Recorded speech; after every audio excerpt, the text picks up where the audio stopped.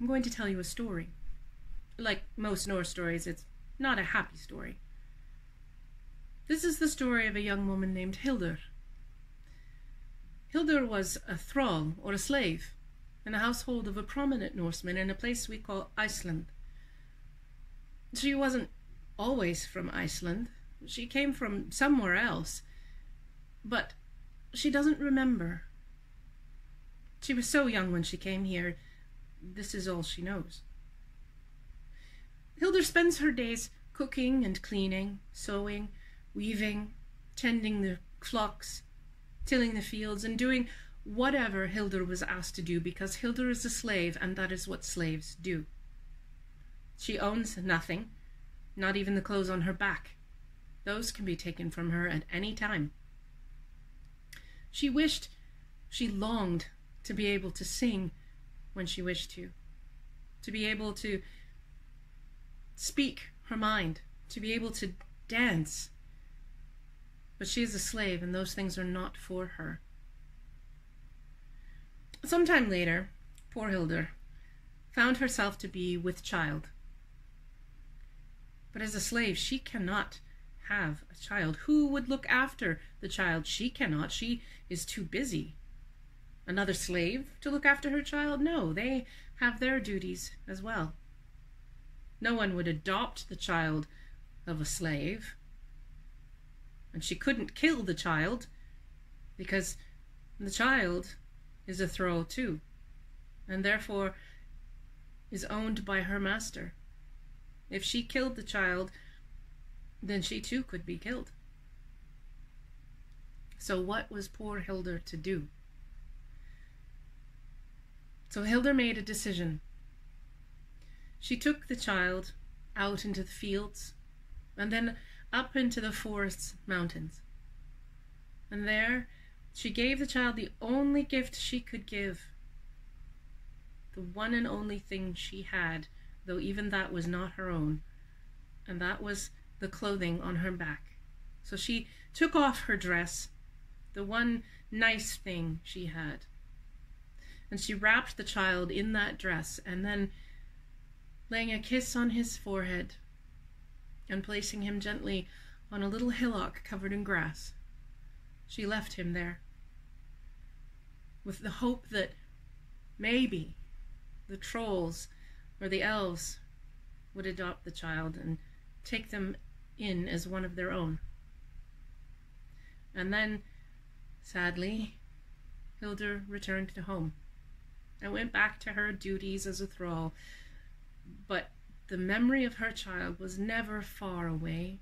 She would never forget. Sometime later, there came news that there was going to be a party, and then the entire village and all the houses around were invited, including the thralls. Now, Hildur had never been to a Vikivaki before. She'd never been invited, but this time everyone was invited, and she was so excited to go. Finally, she would be able to hear the singing and maybe sing herself.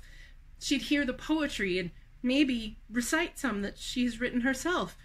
She could watch the dancing and maybe be able to dance herself. She was so excited, and then, then she remembered. I have nothing to wear, she said to herself. I gave the one and only good dress I had to my child. I guess, I guess I won't go to the Vikivaki. I guess I'll stay home. And as she said this to herself, she heard a tiny, small voice from up in the rafters above her head. And that little voice said to her, Don't worry, mother. I will give you these rags of mine, this ragged dress to go dancing in. I will give you these rags of mine to go dancing in. These are the words she heard.